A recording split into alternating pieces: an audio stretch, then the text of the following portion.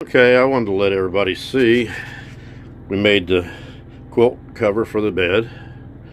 Changed all the windows and the backing on the bed. Valances. Night sh day shades all through here. I think it turned out pretty nice. And underneath her little get ready area there. Changed out the blind. Put new LED lights throughout the cab. And there's the vanity and stuff. Uh, got it all taken care of.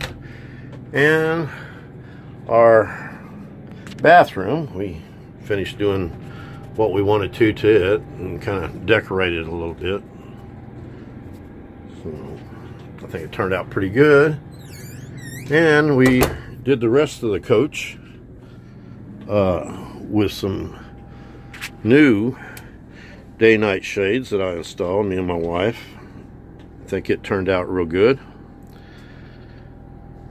It's taken a little while to do everything, but you do what you can when you can. And I got the TV out and getting ready to replace it. I got the mount up there.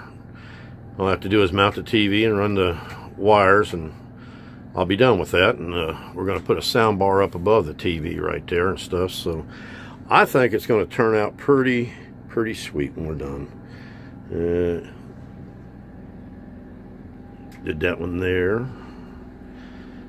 I think that's about it and we got our name on the front of our door. We put that on there and done some work on the outside so